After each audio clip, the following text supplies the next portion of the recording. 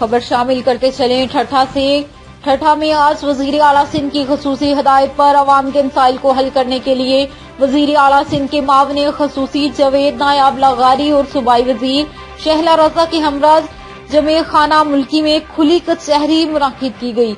इस मौका पर मीडिया रेगुलेटरी अथॉरिटी के बारे में पूछे गए सवाल के जवाब में सूबाई वज़ीर शहला रजा ने कहा कि बेशतर फेक खबरें तो वफाकी हुकूमत खुद दे रही है। जो एक दिन कहती है कि आटे की कीमत कम होगी और अगले दिन खबर आती है कि आटे की कीमत बढ़ गई है। इसी तरह फेक खबरें वफाकी हुकूमत खुद दे रही है। उन्होंने कहा कि कोई भी तजर्बा जो जमहूरियत के खिलाफ होगा, इसका डट कर मुकाबला किया जाएगा।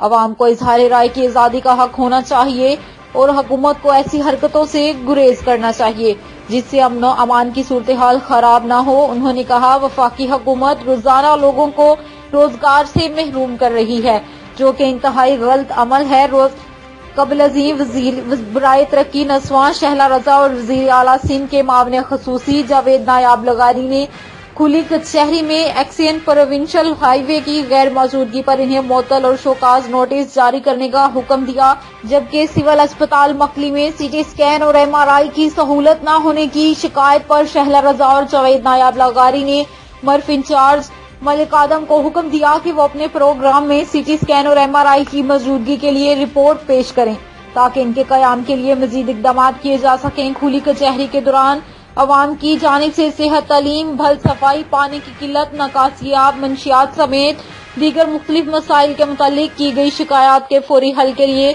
मौका पर ही मौजूद deputy commissioner Thatta, Ghazanfar Ali Qadri S S P Muhammad Imran Khan, दीगर मुतलका महकमों के अफसरान को हुक्म दिया। कि वह तमाम मसाइल जल्द हल करने के लिए मौसर इकदाम करें, ताकि अवाम की शिकायत का फौरी अजाला किया जा सके। इस मौका पर M P A Syed Riaz Hussain Shah Shirazi, Peoples Party के रहनुमा सबक M N A doctor Abdul Wahid Soomro, Peoples Party के जनरल सेक्रेटरी इम्तियाज़ अहमद कुरेशी, अब्दुल हमीद सोमरो, अफ्ताब आलम सोमरो, मीर अब्दुल रजाक के अलावा जिला के मुख्तलिफ़ महकमों के अफसरान, सहाफी पीपल्स पार्टी रहनुमाओं, कारकुनान और आवाम की बड़ी तादाद ने शिरकत की। Report Babin Ashwani Sahara news Thatta.